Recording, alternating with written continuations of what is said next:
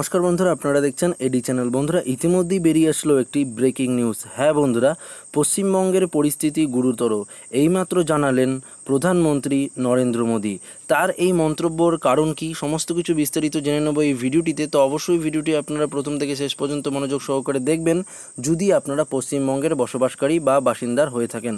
তো আসুন বন্ধুরা, দেরি না করে ভিডিওটি আমরা শুরু করি। তো বন্ধুরা, ভিডিওটি শুরু হওয়ার আগে আপনাদের কাছে ছোট্ট একটি রিকোয়েস্ট করব। যারা ভিডিওটিকে এখনও লাইক করেননি, আমাদের ভিডিওটিকে লাইক করে দিন এবং চ্যানেলটিকে সাবস্ক্রাইব করুন এবং পাশের দেওয়া বেলাইকনটিকেও প্রেস করুন এই ধরনের ভিডিওগুলো সবার আগে পাওয়ার জন্য। দেখুন বন্ধুরা, এখানে বলেছে, পশ্চিমবঙ্গের পরিস্থিতির কথা গোটা দেশে পৌঁছে দিতে দলীয় সংসদের নির্দেশ দিলেন প্রধানমন্ত্রী নরেন্দ্র মোদী।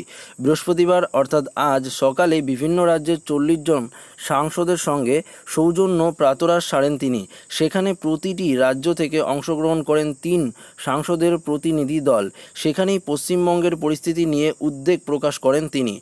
বৈঠকে পশ্চিমবঙ্গ থেকে যোগ দেন ব্যারাকপুরের সাংসদ অর্জুন সিং, মালদা উত্তরের সাংসদ খগেন মুর্মু ও বাঁকুড়ার সাংসদ ডাক্তার সুভাষ সরকার। সেখানে আগামী দু বছর পশ্চিমবঙ্গের সাংসদের কীভাবে কাজ করতে হবে তার দিক নির্দেশ করেন তিনি। বলেন, পশ্চিমবঙ্গের পরিস্থিতির ওপর কড়া নজর রাখতে হবে। প্রত্যেক সাংসদকে নিজের সংসদীয় এলাকায় খুঁটিনাটি খবর রাখতে হবে। বৈঠকে পশ্চিমবঙ্গের পরিস্থিতির অন্তত গুরুতর বলে মন্তব্য করেন প্রধানমন্ত্রী নরেন্দ্র মোদী। এছাড়া সাংসদের যাবতীয় সামাজিক ও ধর্মীয় অনুষ্ঠানে যোগ দিতে পরামর্শ দেন মোদী। হারজিত ভুল, মানুষের সঙ্গে আরও নিবিড় যোগাযোগ গড়ে তুলতে নির্দেশ দিয়েছিলেন তিনি। পশ্চিমবঙ্গের আইন শৃঙ্খলা পরিস্থিতি নিয়ে আজ সন্ধ্যায় দলীয় সংসদের একটি রিপোর্ট জমা দিতে বলেছেন প্রধানমন্ত্রী।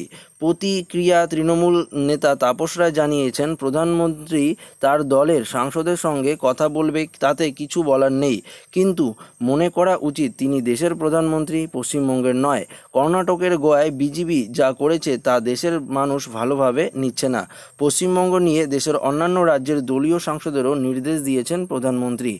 জানিয়েছেন, পশ্চিমবঙ্গের পরিস্থিতির কথা তুলে ধরতে হবে গোটা দেশে। বিভিন্ন জায়গায় বক্তৃতার পশ্চিমবঙ্গের পরিস্থিতির কথা বলতে নির্দেশ দেন তিনি। তো বন্ধুরা, আপনারা দেখতেই পারলেন যে পশ্চিমবঙ্গের পরিস্থিতি গুরুতর। কেন তিনি এই মন্তব্য করেছেন সমস্ত কিছু বিস্তারিত আলোচনা করলাম এই ভিডিওটিতে।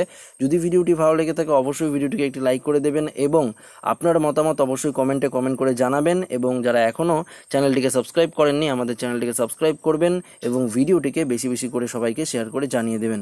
ধন্যবাদ বন্ধুরা, এই ভিডিওটিকে প্রথম থেকে শেষ পর্যন্ত মনোযোগ সহকারে দেখার জন্য।